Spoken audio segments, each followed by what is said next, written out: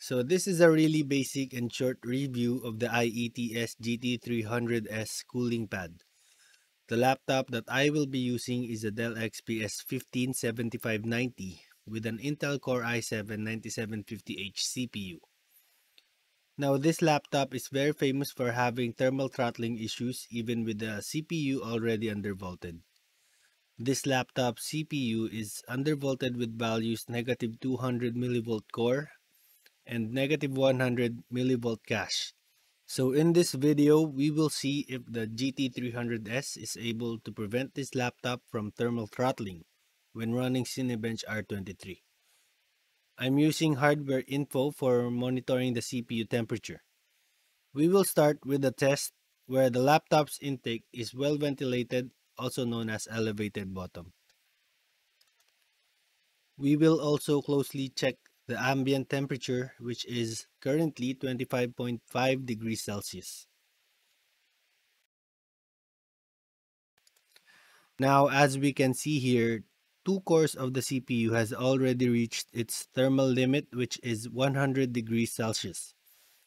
This means that the CPU will already start lowering the core clock speeds to prevent the temperature from going any higher and damage the CPU.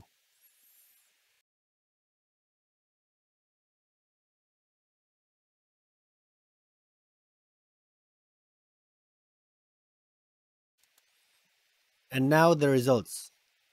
For the first benchmark, we were able to reach the score of 7,427 points and the maximum CPU package temperature of 100 degrees Celsius. For the next test, we will be running a benchmark with the laptop placed on the IETS GT300S and fan speed of the cooling pad set to level 3.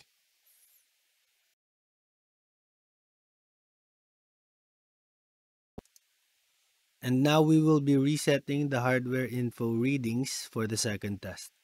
Ambient temperature right now is 25.2 degrees Celsius. Let's begin the second benchmark.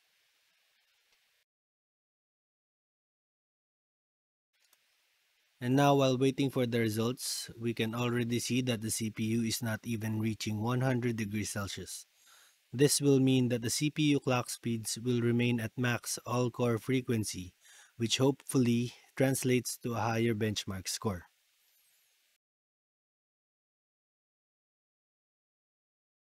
So the second benchmark results are up and now we can see that the scores are even higher than our first benchmark. The score right now is 7,509 points and maximum CPU package temperature of 93 degrees Celsius. Now in conclusion, the IETS GT300S was able to prevent this laptop from thermal throttling and it turns out cooling pads like the GT300S can really help lower your laptop's temperature. So there you have it. I hope you find this video helpful and thank you for watching.